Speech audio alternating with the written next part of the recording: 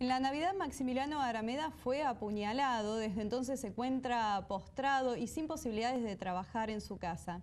Ahora además debe afrontar las consecuencias de la tormenta, ya que destruyó la vivienda que estaba construyendo con su familia.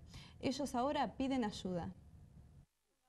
Eh, yo tengo un marido que el 25 lo apuñalaron y bueno, él no puede hacer fuerza, está, o sea, está más que más allá que está en casa con nosotros eh, él está, está eh, complicado y bueno, y ahora, o sea, estábamos levantando la casa eh, y bueno, él por uno o dos años no puede trabajar y bueno, ahora en el, antes de ayer cuando hubo la tormenta se nos vino en la casa abajo y, queríamos saber a ver si alguien nos puede ayudar y eso.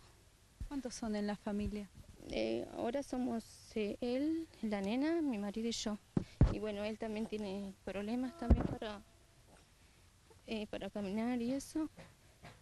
Y queríamos saber a ver si, yo sé que Bahía es solidaria, a ver si alguien nos puede ayudar.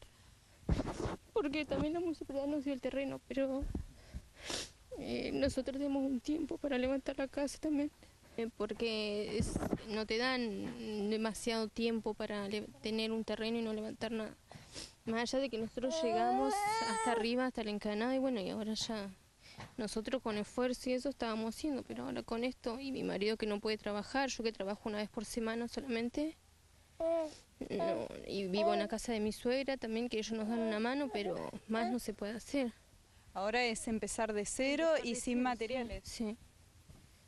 Sí, porque todo lo que habíamos comprado está ahí, bueno, y ahora no se recupera nada.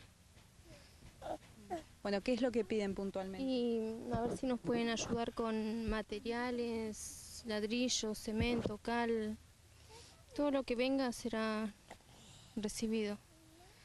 ¿Dónde lo reciben? ¿En qué teléfono? Eh, al teléfono 154 35 45 30 o 4500 121 y en Richieri 2244, Barrio Maldonado.